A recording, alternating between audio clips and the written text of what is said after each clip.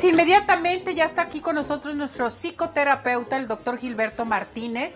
Es bien importante, vámonos a, a este tema tan interesante que tiene sobre algo interesante de los hombres. ¿Cómo está, doctor? Bienvenido. Muchas gracias. Nuestro más sincero pésame a usted y a su familia. Gracias. Gracias por aceptar la invitación, por estar con nosotros, doctor. Aquí estamos, ese con muchísimo gusto, un placer estar en tu programa.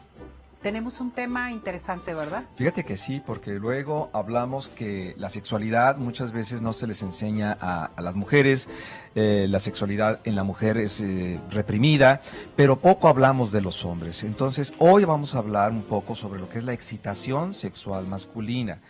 ¿Cuál es la, realidad de las cosas que están sucediendo actualmente? Es que muchos hombres no reconocen, no saben qué significa, cuál es el significado completo de una excitación sexual.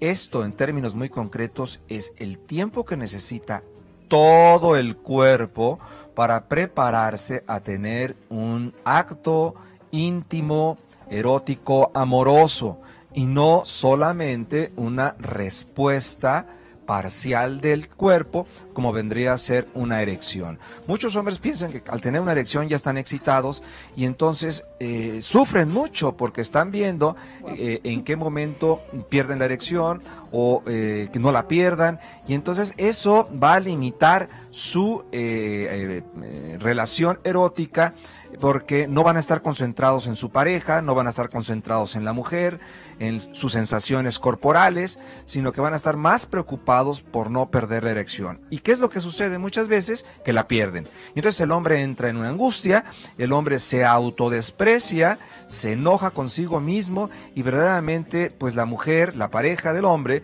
queda verdaderamente pues eh, frustrada por decir, bueno, no te enojes, no pasa nada.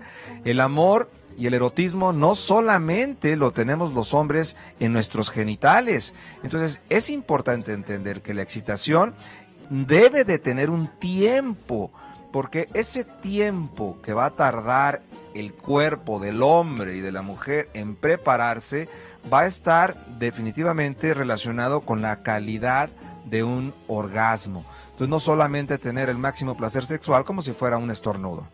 Doctor, esto es bien importante saberlo y si hay problemas de pareja, de comunicación, que eso es bien interesante lo que usted menciona, ¿se pueden comunicar con usted a qué teléfono? Con muchísimo gusto, Ceci, estoy a sus órdenes en el triple tres cuatro cuatro uno cinco seis seis siete, lo repito, triple tres cuatro cuatro uno cinco seis seis siete. Gracias, doctor. Un placer. Bienvenido al programa de Arriba Corazones. Gracias, Ceci, un placer. Nuestro WhatsApp